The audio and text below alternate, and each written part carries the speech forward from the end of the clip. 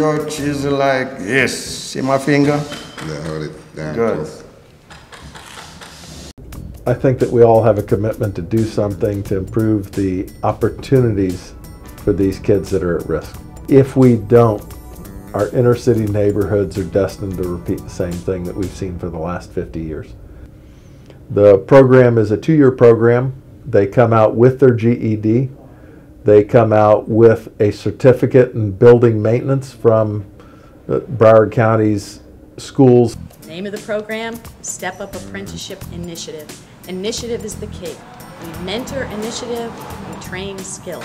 My goal in all of this is to get him prepared, he or she prepared for industry, so that when they leave us, they have the marketable skills, so that they can um, go get a job, and like I tell them, keep the job, so that they can make some money and make you know, something better for their lives.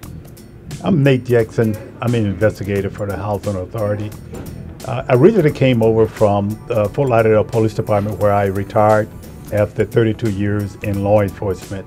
And many of the youth come from homes or environment where there, there's not that much guidance, not that much direction. Latourance Garrett, and I'm the leader of the grounds crew. This is this control valve control zone one and this control valve control zone two. Well, they're finally seeing success in what they're doing. They're learning something, they're taking it into their head, and then they take it into the into the field and they turn it into uh, a, a repair, a, a, a something that they can point their finger at and say, "I did that." I can honestly say I can go out and do it for myself and, and have a career and hopefully a, a good future, you know. Other programs will go out there and give them three months of training and say, here, you can go out and get a job.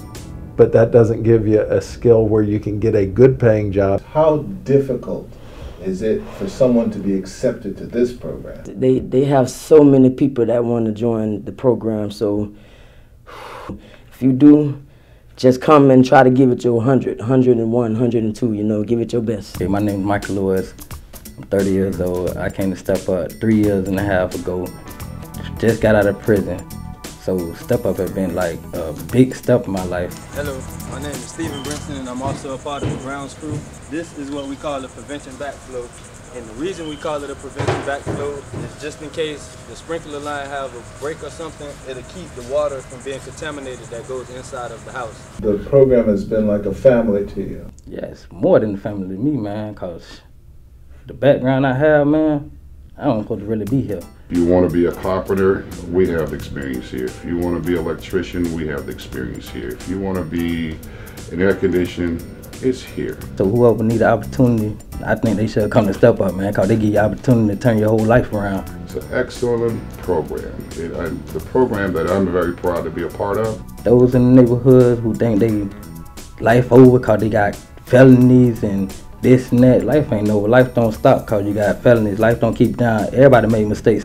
There's so many things that the Step Up program is doing for our youth here at uh, in Fort Lauderdale. We're taking our young men and women right out of our neighborhood and we're training them to do these things. And, and you really need to see the outcome of what these guys are doing. You, you, you wouldn't believe it, you know.